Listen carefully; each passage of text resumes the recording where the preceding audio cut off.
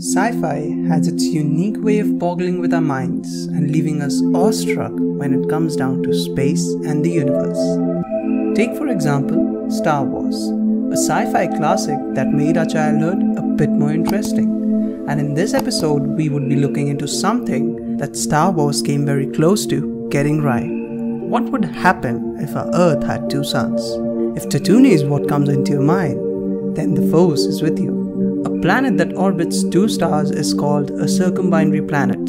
You would easily bet a fortune that such planets are quite rare, but astronomers disagree.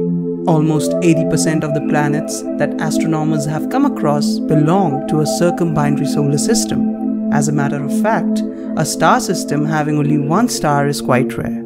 A theory also suggests our sun had a small hypothetical brother named Nemesis, which drifted off into the Milky Way and has since been lost.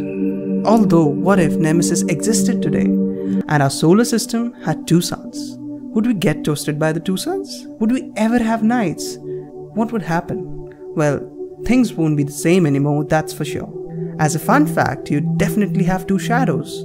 But unfortunately, for a lot of reasons, it won't be very same. The biggest problem being the existence of a planet. Yes, the planets that scientists have come across in circumbinary system are gas giants just like a big daddy Jupiter, but much bigger than him. Even the smallest we have come across is larger than Neptune. But let us not lose hope.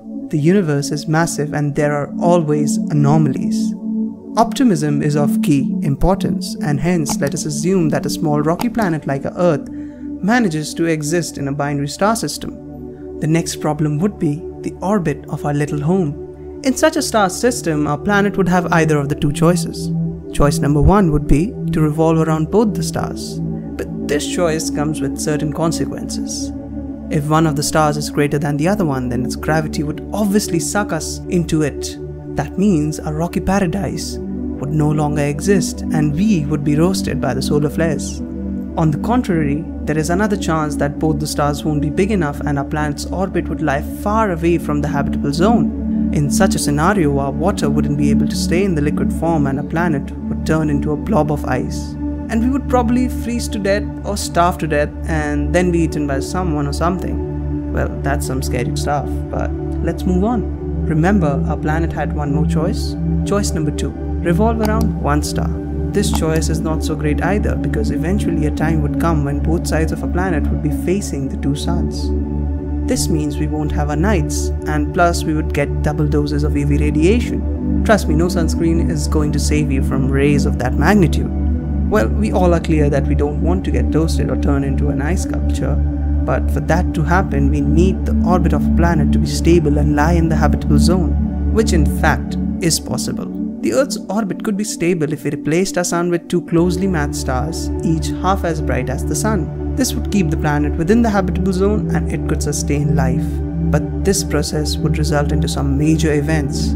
The total gravity of the two stars would be stronger compared to our single sun, and thus it would take the Earth 280 days instead of 365 to take a whole circle around them. That means to complete a revolution. Fewer work hours and school days. Well, if I were you, I would definitely take this deal. We would also be able to witness something very interesting the two stars would orbit each other once every 10 days, and every 5 days, one star would pass in front of the other. From the Earth, that would look like a solar eclipse. But instead of a moon blocking the sun, it would be one star blocking another one, and the show would last for about 5 hours. A grand show indeed. In such a scenario, the Earth would be just fine revolving around two stars, and we'd be enjoying the dual sunset. But before we let you go, we have a small fun question for you to think about. Is 2020 a bigger threat to humanity or our old long lost sun, Nemesis, coming back into our solar system? Let us know about it in the comments and stay tuned for much more exciting videos.